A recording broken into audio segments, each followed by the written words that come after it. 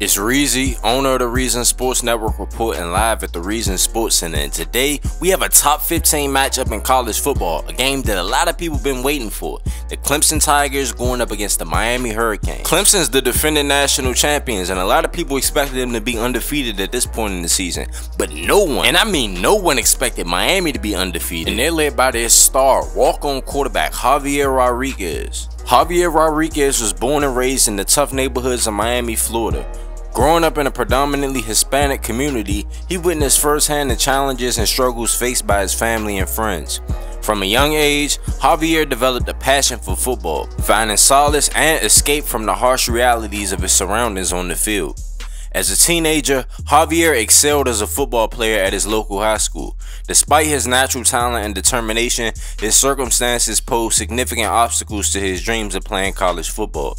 The lack of resources and opportunities in his community made it difficult for him to gain exposure to college recruiters. Many colleges overlook players from his neighborhood because there hasn't been a college player that's been successful from his neighborhood yet. But Javier is determined to change that. Javier refused to let adversity define him. He poured every ounce of effort into improving his skills, training tirelessly and sacrificing countless hours to perfect his craft. His relentless work ethic caught the attention of a few scouts, and although he didn't receive any scholarship offers, he refused to give up on his dream. With a chip on his shoulder and an unwavering belief in himself, Javier decided to take matters in his own hands. He reached out to the University of Miami, his hometown team, expressing interest in joining their program as a walk-on player. Recognizing his determination and talent, the coaching staff invited Javier to try out for the team. The trial was grueling pushing Javier to his limits physically and mentally, but he embraced the challenge knowing that this was his best opportunity to prove himself. Despite being undersized compared to some other recruits, Javier's speed, agility, and sheer determination caught the eye of the coaching staff. After a tense wait, Javier received the news that he'd been longing for. He earned a spot on the University of Miami football team as a walk-on player. The joy and relief he felt was immeasurable. Javier had overcome the odds stacked against him, transforming his dreams into reality through sheer determination and unwavering perseverance. Javier did so many great things during training camp that he ended up earning a starting spot and earned himself a scholarship. The coaches were shocked at how good he was and how much he improved from high school as a senior to a freshman in college. But he really shocked the rest of the college football world at how good he is because he started off this season on fire as a quarterback leading the Hurricanes to a 3-0 record, ranked number 17th in the nation, and he's number one on the Heisman list right now. But today won't be an easy matchup as he's facing the number one cornerback and really the number one secondary in all of college football, Andrew Rice and the Clemson Tigers. As of right now, Andrew Rice is in Miami walking around getting ready for the game tomorrow. Ever since he's came into college football, he's been outstanding. He led Clemson to the national championship last year, while he won almost every single award for Defensive Player of the Year and won Defensive Back of the Year, the Jim Thorpe. But Rice has been doing just as good this year, if not better. Last game, he didn't even allow a catch. And he's better mentally as he's gotten a better grasp of college football over the past season. He's also gotten much more diligent in his film study. Even though he's already watched some film on Miami, two weeks ago, he was watching the Miami versus SMU game live.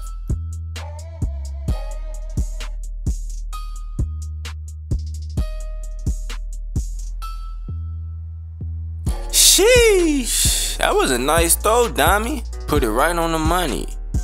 Didn't even put too much on it. Laid it right in there.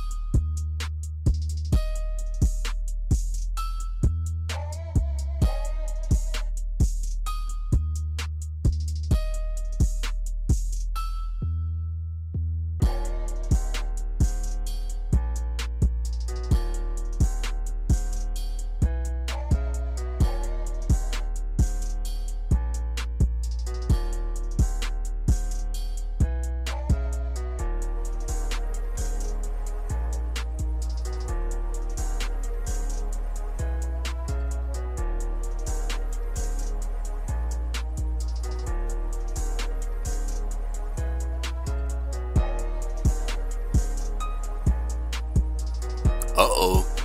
Open field. Ooh, made him look stupid. Oh, okay. Shorty gonna be a problem for us when we play them in two weeks. For real.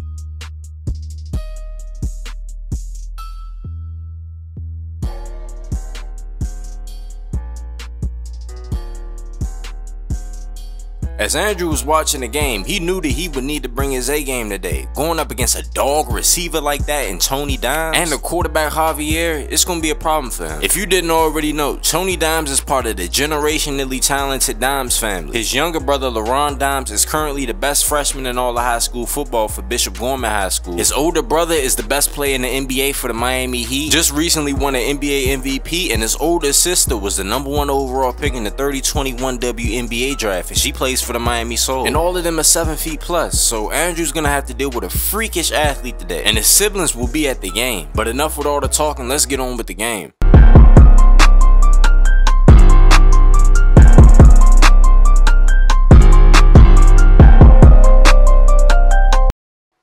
Welcome to Hard Rock Stadium, where we have the Miami Hurricanes facing against the Clemson Tigers, and a lot of stars are out today. Here we have LaRon Dimes, AJ Dimes, Anthony Dimes, the Dimes family, a father and his two sons, here to support their other sons. It's kind of crazy. You see three giants just walking up in this stadium like it's nothing. We see two future stars right here. Malachi Pierre and Curtis Rose, two brothers, two star players that were born and raised in Miami, high school recruits. Curtis Rose on the left and Malachi Pierre is on the right.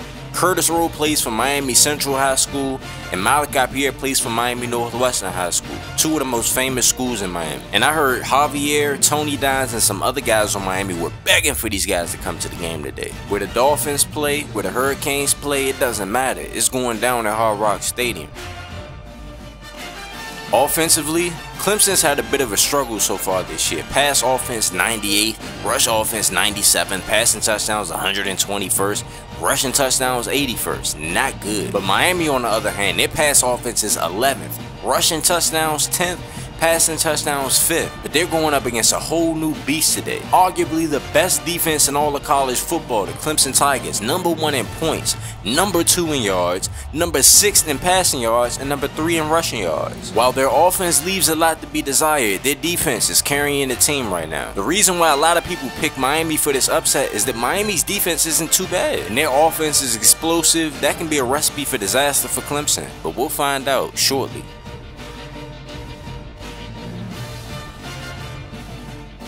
Andrew Rice said he's following Tony Dimes all game, so expect a lot of man coverage. Javier throws it to Brown and the pass is dropped. Second down and 10. We all know why we're here though. We're here for the Andrew Rice Tony Dimes matchup. Something that we've been waiting on. Second down and 10. Rice with inside leverage. They send the tight end in motion. Rice doesn't get hands on him this time. Beats him inside. Has nice coverage on him, but Tony Dimes still makes the 15-yard reception. And this is why a lot of people, especially guys like Mason Kiper, has Tony Dimes rated as the number one wide receiver in the class of 3022 for the draft. He has the size, the speed, the hands, and he can stop on a dime, run a nice route. Just beat Andrew Rice right there. Not a lot of guys can beat Andrew Rice. Second down and 13. They would send the tight end in motion. Rice gets hands on him. Javier keeps it on the option. Now he's got the first down and a lot more. Javier showing off his explosiveness. Just popped off a little cool 22 yard gain like it was nothing. And this is why this guy is currently ranked number one in the Heisman rankings. For plays like this, he makes it routine. First and 10, Miami's moving the ball on this Clemson defense so far, almost in the red zone. First down and 10, they would send the tight end in motion. Rice gets hands on Dimes. Rodriguez trying to find somebody. Rice locks his man up. He dumps it off the green. Ends up getting 6 yards, second down and 4. Clemson would get a TFL on second and 4 force and a third down and 5. And Miami comes out in the empty backfield. 2.30 left to go in the first quarter. Rice gets hands on Dimes. Tries to run a whip route, nowhere to go with the football. Pressure ends up getting to the quarterback. Andrew Rice and the rest of the secondary do their job. Andrew's been playing great coverage so far in this game. He did give up that one catch, but it was tight coverage. I'm not going to lie to you. Score is 3-0. Miami's up over Clemson. They have the ball right now. First down and 10. They send the tight end in motion again. Rice, press man coverage, locking his man down. Rodriguez decides to dump it off the Brown. He only got two. Rice with the clamps on the play. Javier really wanted to go downfield, but he just decided to check it down. Third down and six. 110 left to go in the first quarter. Rice presses his man. Rodriguez trying to find somebody. Throws it on the slant. He got it complete to Jacob Horn, the five-star freshman out of St. Thomas Aquinas in Florida a subscriber to the channel, by the way. Rice is a film junkie. He's been studying film on Tony Dimes for weeks. He knew that this would be his best matchup of the season. He knew he had to come with his A game. So on first down and 10, they tried to hit him with the comeback, but he ran the route for him. That's all film study right there. Second and 10 with 49 seconds left to go in the first quarter. Miami trying to get across midfield. Javier rolls out to the right. Everybody's locked up, dumps it off the Heath, and Andrew Rice was all over that, even though that wasn't even his man. Third and 9. Can Clemson get off of the field? Can Miami convert? We'll find out. They sent Beckham in motion. Rice gets cut. They're running a screen pass. Rodriguez with a whole bunch of time. Rice trying to sack him. Dumps it off to Beckham. Beckham gets the first down and a lot more. 16 yard reception.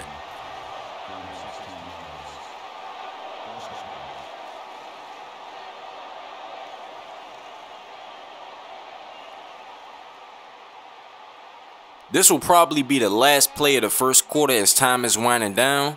Rice lined up one-on-one -on -one with Tony Dimes. They send the tight end in motion. Screen pass coming from Miami. Andrew Rice gets pushed right on his back, but the running back ends up getting tackled behind the line for a loss of three. And that'll be the end of the first quarter. Nice defensive battle going on. The Miami Hurricanes are up 3-0 over Clemson.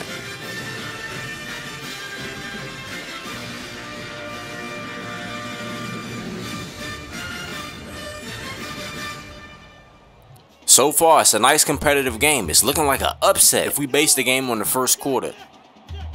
Second and six, Rice. Eyes to the quarterback.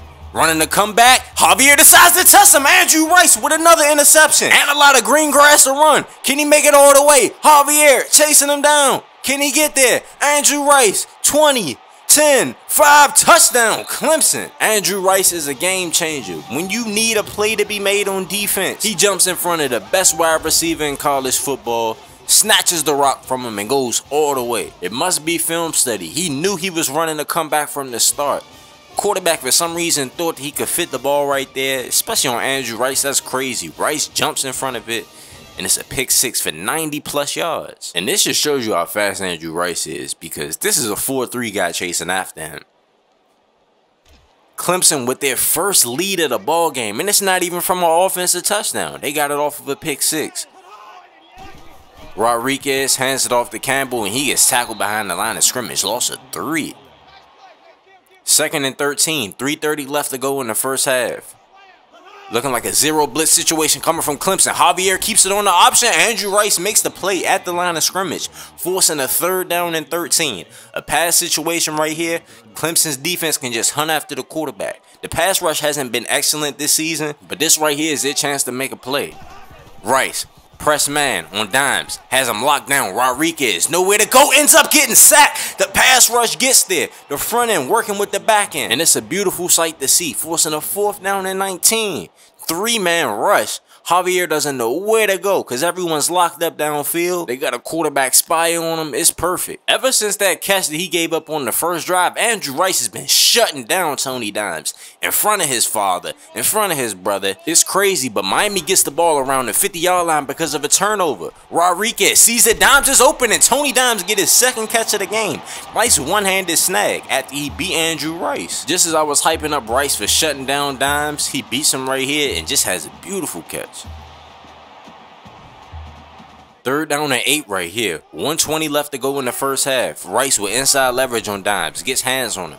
Actually locks him up. Rodriguez throws it to the sideline and Jacob Horn, the five-star freshman with a nine-yard reception. Second and six. 115 left to go in the first half. Option from Miami.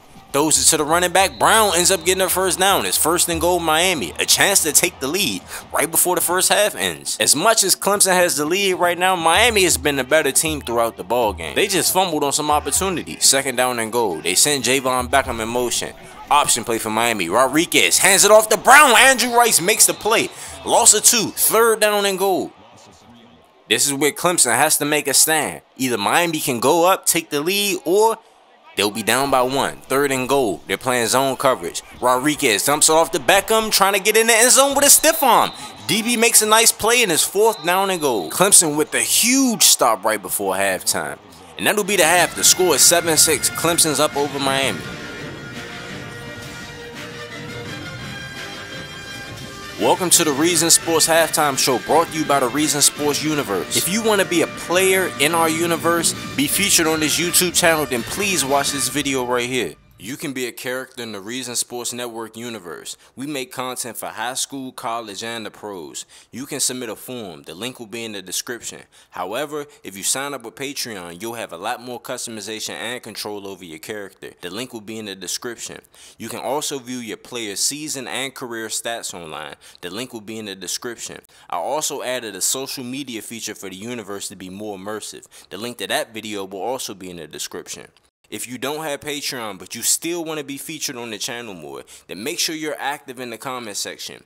You being consistently active reminds me to put you on the channel in some way. When you submit a form, your character will be put in the universe. You can see yourself in a live stream or video when teams play, but it's highly unlikely that you'll see me controlling your player throughout a game if you don't have Patreon. Signing up with Patreon gives you control over attributes, accessories, gives you a GTA face, control over your backstory, and you'll be one of the best players in the universe. Also, if you didn't know, anybody with a period next to their name is a subscriber to the channel. Anybody with an apostrophe next to their name is a Patreon member.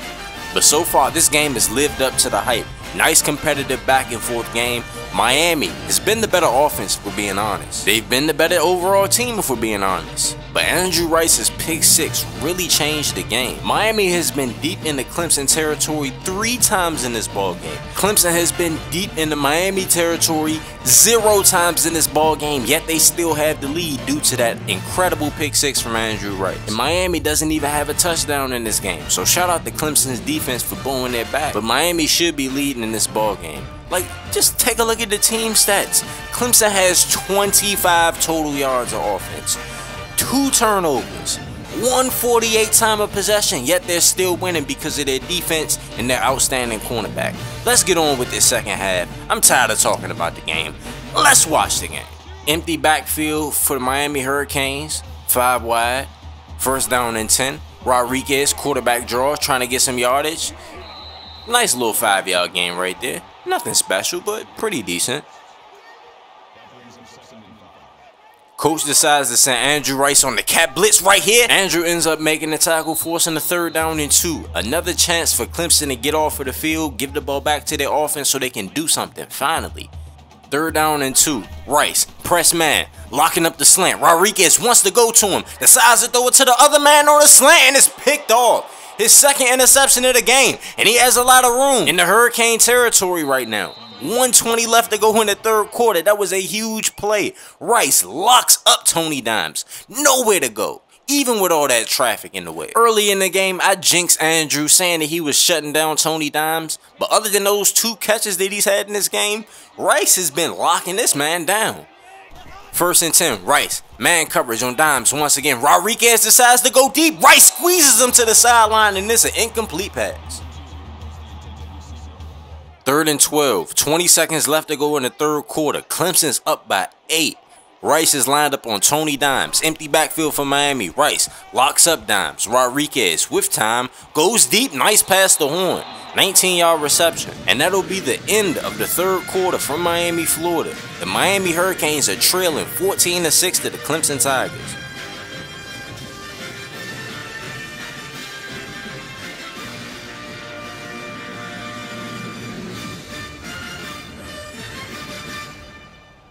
Tony Dimes has pretty much been shut down throughout this game. And right here, they try to find him a way to get him the ball. Screen pass, throw it to Dimes, and he gets tackled behind the line of scrimmage by a defensive lineman.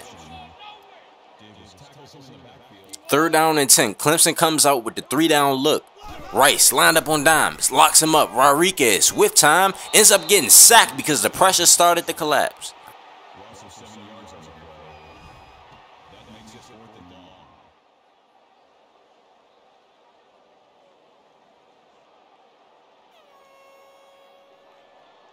But the score is still 14-7, and Miami still has a chance to win this game. First and 10, Rice, press man. They run the option, he blows up the play immediately. Running back only got one yard.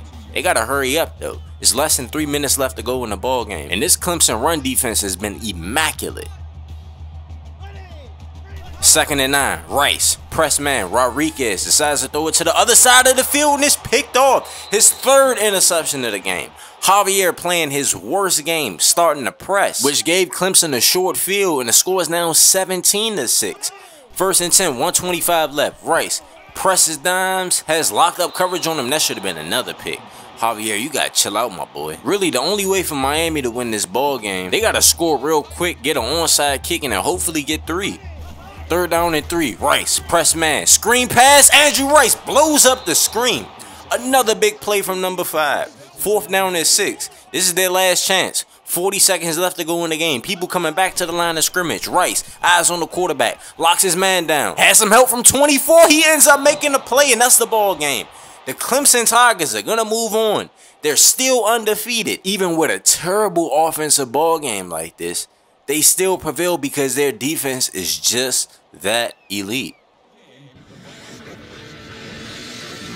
Player of the game is Zeke McIntyre, but in my honest opinion, the player of the game has to be Andrew Rice. He shut down the best wide receiver in college football, had a pick six, was dominating at the line of scrimmage in the run game, man. I don't understand it, but, you know, he like to give it to offensive players, so kind of do understand it. But 17-6 here from Miami, Florida. Javier, I think he'll bounce back next week. Same thing with Tony Dime. They just ran into a brick wall. I mean, you're a walk-on quarterback, and we know that you're talented, but you're still a walk-on quarterback. You're a freshman, and you're going up against the number one defense in college football, the team that won the national championship last year.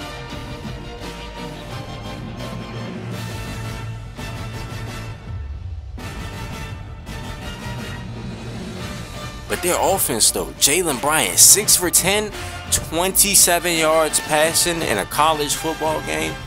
27 yards passing. But Zeke McIntyre, a subscriber to the channel, he had 16 carries for 90 yards. Nobody did anything in the receiving game. Defensively, though, a lot of guys did their thing. Andrew Rice, seven solo tackles, two TFLs, one pick six for 91 yards. And he shut down the best wide receiver in college football. Javier did not have his best game. 109 passing yards, 62% completion percentage, no touchdowns, three picks. Russian didn't only had nine carries for nine yards. The other running back, Jonathan Brown, he did a decent job today. Receiving though, Tony Dimes, three catches for 35 yards while he was lined up on Andrew Rice.